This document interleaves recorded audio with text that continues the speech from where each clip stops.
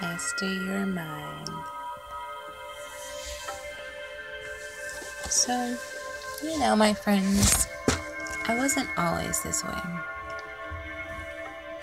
I wasn't always soft spoken, understanding, and able to communicate well. It took practice, patience, focus, time for me to grow. It's not like a snap of a finger and boom, you're an expert. You have to build your way up. So, just wanted to mention that on a relatable level. I'm human.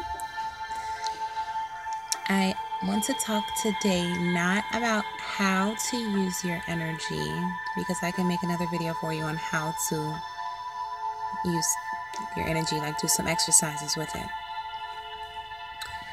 Um, just talk about steps of using it. There are steps to using it, and we'll also discuss how. So, let's say you wanted to use your energy but didn't know how. So, you begin to practice using it. Like a simple meditation, just some breathing techniques, maybe listening to some sound vibrations, sounds, colors, anything that you can see, hear, taste, feel to all of your senses, anything you can use your senses with, it is in touch with your energy, with your vibrational levels, your frequencies. So uh, let's just say that you are listening to some great sounds and vibrations, and you're just lying down, meditating, practicing, meditating, practicing your breathing. So you want to use your energy, don't know how to, but you begin to practice using it. And at first, you feel nothing and you see no results, but that doesn't mean it's not working. You just can't see a physical result yet. So, first, you see nothing for the first however long, and then all of a sudden, mid practice, mid meditation, one day, you start feeling sensations because even though you haven't been seeing much of a difference, you kept practicing not noticing it was working from the inside out. And finally, you started noticing one day, you started paying more attention to your body. And you started feeling sensations. And the sensations, all they did was make you feel good, or so you thought it was only making you feel good, but really it was activating. And after you activate it, you use it. And you realize that you use it by focusing on it, relaxing, and allowing it we prevent it by overwhelming, overthinking, worrying, and by trying to make it happen. You don't have to make it happen. You never have to make it happen. You just focused on you, and it happens. You keep yourself balanced. You keep yourself at peace, and it aligns. You don't have to do anything but allow, accept, and receive. Do not resist. Do not think do not react. Allow and relax. Relax and allow. You set your intention. This is what I have. And you allow.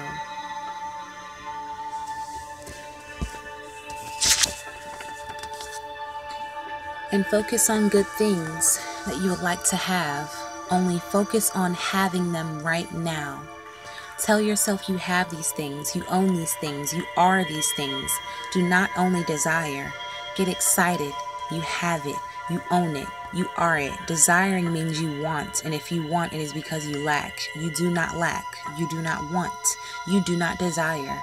I am, I own, I have, I love, I accept, I appreciate, I enjoy only present statements, not past nor future. So, not I was, which is in the past, not I will, which is still setting it off to the future. And you see what we've been taught? Yes, these are things we were taught to say the I want and I will, and to ask and beg for it. Own it. You have it already. Speak it and own it. Your words are as powerful as anything and everything else.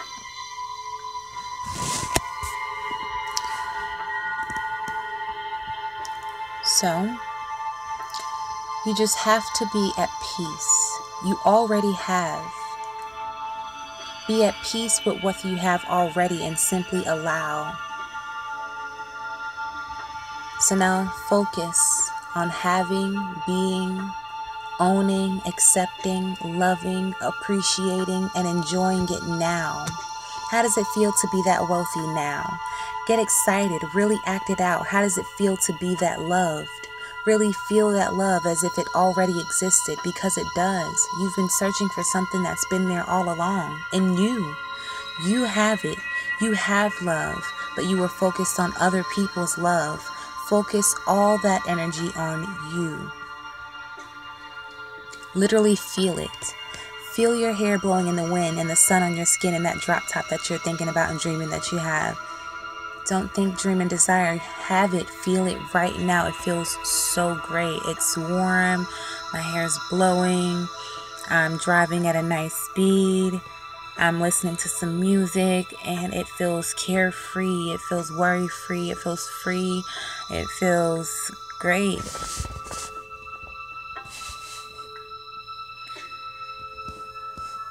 You do so by feeling the enjoyment of it. Like when you get it, you know how happy you will be. Don't will it, remember? Be that happy now because you have it. You just have to relax and allow it to align. Focus on it while you get excited about it. So then you can activate the vibrations or energy in your body that will magnetically attract what you're claiming to already have.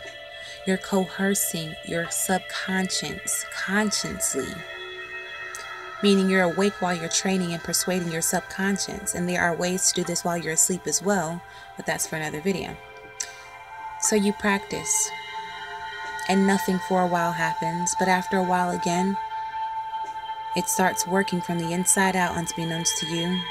And you feel sensations once you start paying attention to how your body is reacting to just relaxing and just hearing sounds and vibrations. And after accepting and allowing and affirming yourself and the activation that comes about, you use your energy. And of course, you're not going to be perfect at using it initially, you just gain use of it. It's easy to lose balance of something you never used before. You must train, practice, balance, and fine tune.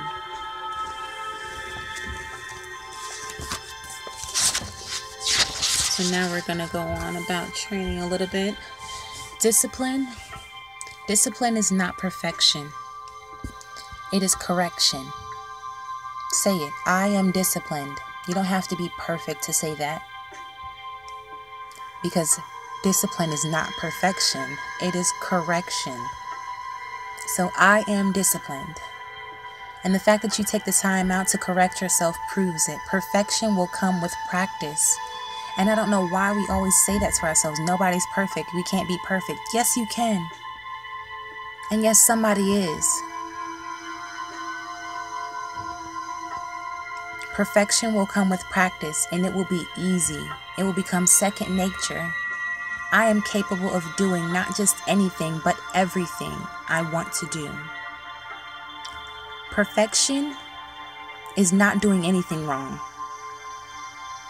That's not discipline. Discipline is doing something wrong, but catching yourself and correcting it. That's discipline. If you were perfect, you wouldn't do anything wrong. And where's the discipline needed there? Discipline is not needed for perfection.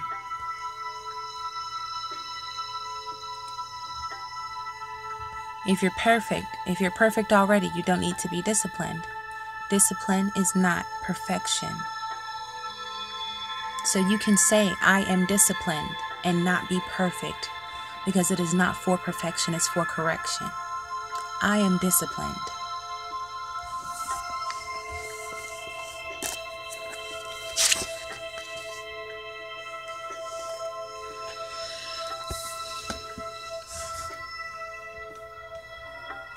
Peace to you all.